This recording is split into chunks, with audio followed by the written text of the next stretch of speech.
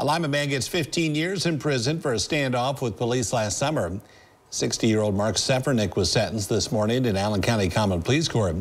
He pleaded guilty to five counts of felonious assault, two of which had gun specifications. All five were first-degree felonies.